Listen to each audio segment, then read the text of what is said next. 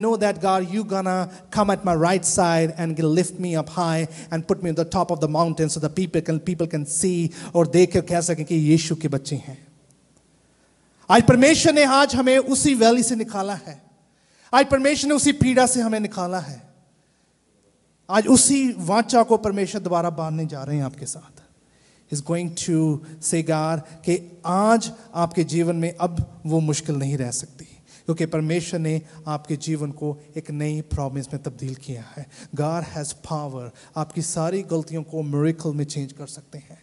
गार has a power आपकी सारी समस्या को वो मेरिकल्स में चेंज कर सकते हैं, चमत्कार में तब्दील कर सकते हैं। देखें, आज के टाइम में दाऊद ने इस जब हम दाऊद के इस वचन को पढ़ते हैं, दाऊद एक बात वो कह रहा है, कहता है, कमज़ोरियाँ, मुश्किलें, परेशानी मेरे जीवन का हिस्सा थे।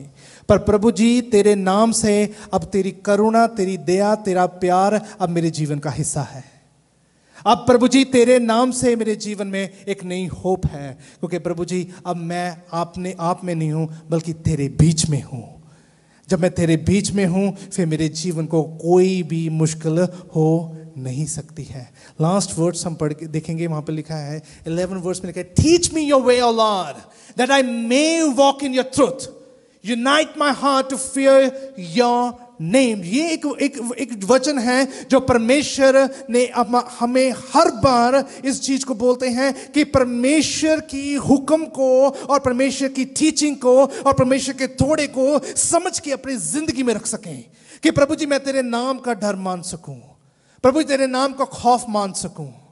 कि प्रभु के वचन में लिखा है कि जब हम परमेश्वर का डर मानते हैं, परमेश्वर के नाम से हमारी ज्ञान, हमारी अकल और बुद्धि एज ए गिफ्ट में मिलती है। You know the fear of God is starting of your knowledge परमेश्वर का जो इंसान डर मानता है, ज्ञान विजडम नॉलेज उसके जीवन एज ए गिफ्ट मिलता है। दाऊद कहता कि प्रभु जी, आज उसी डर से कि प्रभु जी, मैं कामते हुए तेरी हजूरी में आता हूँ।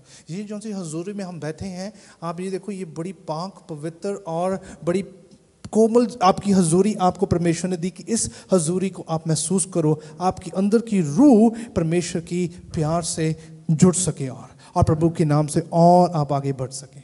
देखिए, ये प्रभु का उपकार है। ये परमेश्वर की दया है जो दाऊद इस चीज़ को बयान कर रहा है। दाऊद हमेशा कहता है कि प्रभु जी, मैं तेरे नाम में और बन सकूँ।